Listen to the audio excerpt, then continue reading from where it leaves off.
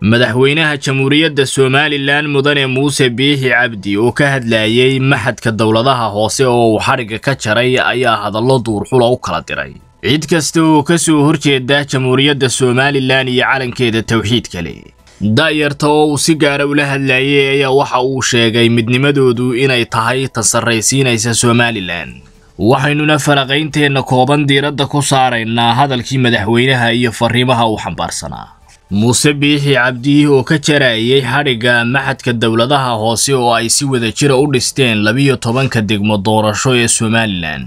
ayaa waxa uu sheegay in markii somalilan meel uga soo wada jeesan lahayd cid kasta oo ka soo horjeeda la gaadhay. Dhallinyarada iyo da'yartuna ay tahay awoodda keliya ee ay ku xisaabtamayso. Madaxweynaha oo si duurxula uga hadlay duruufaha wakhtigan xaadirka ah ku gadaaman waddanka ayaa waxa uu sheegay in horumarka maanta la joogaa uu yahay mid ku yimid juhdi iyo tacab halkaana in laga sii dhaqaajiyo uu u baahan yahay. Iyadoo ay jiraan cid aan ku faraxsanayn somalilan horumarkeeda iyo halka ay maanta gaadhay. Taasna loo baahan yahay midnimo iyo si wada jir ah in looga soo horjeesto si horumarkaasi u sii socdo somalilanna u taabto. Meesha ay u xusul duubaysay koob iyo soddonkii sannadood ee ugu dambaysay oo ah aqoonsi caalamiya inay ka hesho adduunka oo dhan hadalkani ayaa waxa uu ku soo beegmayaa iyada oo muddooyinkii ugu dambaysay qaar ka mida gobollada bariga ay ka jirtay xasillooni darro siyaasadeed. Taasi oo xukuumadda somalilan ay ku eedaynayso inay gacmo badani ku jiraan oo wakhtigan xaadirka ah ka dhan ah nabadgelyada ah iyo deganaanshaha halka ah.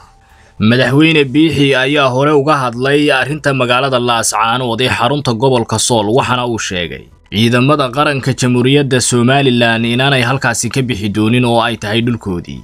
iyadoo oo dhinaca kalena deegaamadaasi ay ku lahaayeen maalmihii ugu dambaysay shir halkaasi ay sheegeen inay kaga tashanayaan aayahooda iyo ahaanshaha somalilan ilaa iyo haddana kamay soo bixin wax go'aamo ahi madaxweyne biixi iyo xukuumaddiisa ayaa caddeeyey mowqifkooda.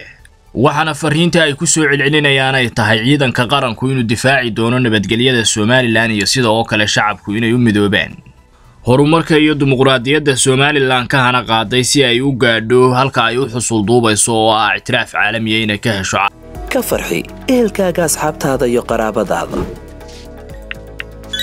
Oo la soo deg abka dahabshiil si aad si fudud lacag ugu dirto. Marka aad la soo degto ablicathonka dahabshiil ee aad lacag ka dirayso isticmaal koorka khadmad la'aanta ee tree free oo kuu sahlaya in saddexda jeer ee ugu horreeya ee aad lacag dirayso aan wax khidmad ah lagaa qaadin dahabshiil howlfudaydiyahaaga maaliyadeed